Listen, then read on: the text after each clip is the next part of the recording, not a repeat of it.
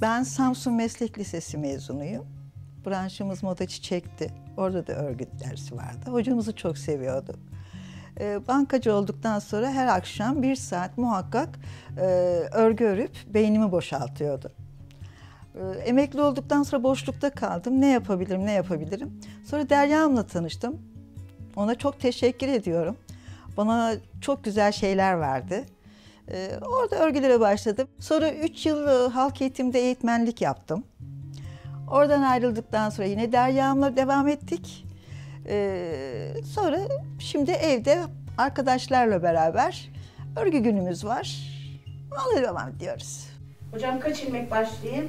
35 ilmek 35 ilmek başlayacağım. başlıyorsun.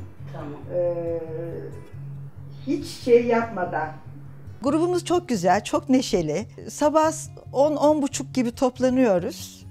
Ee, 11.30 gibi bir kahve faslımız var.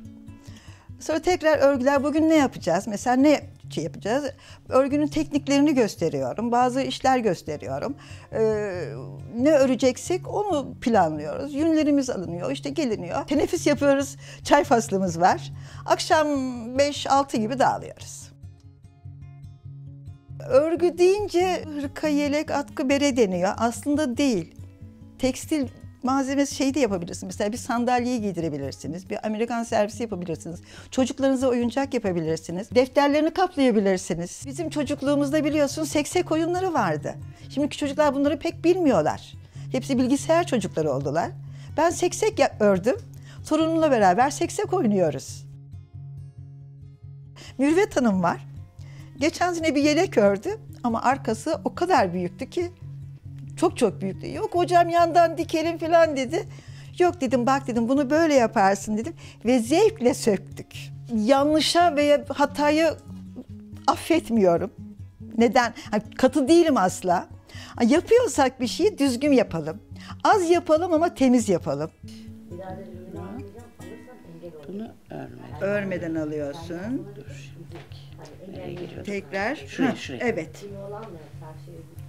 stres atıyoruz. Ee, yeri geliyor dertleşiyoruz. Yeri geliyor örgü öğreniyoruz.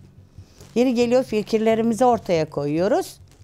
Akşam olunca da kalkıp gidiyoruz evimize. Biraz yüzünüz somurtkan eğer geliyorsanız kapıdan içeriye girdikten sonra çıkarken var ya huu, öyle bir neşeli çıkıyorsunuz ki buradan.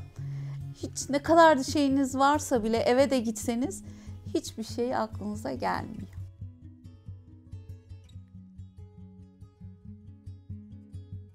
Evde o kadar güzel becerisi olan hanımlar var ki böyle gizli bilinmiyor. Veyahut da hani bütçelerine bir şeyler katmak istiyorlar ama ne yapacaklarını bilemiyorlar. İşte onlara bir yol göstermek, yol açmak, ne bileyim bir şeyler e, üretmeyi. Yani evde boş oturmayalım da bir şeyler üretelim, bir şeyler yapalım. Yani Beylikdüzü'müzü duyuralım diyorum.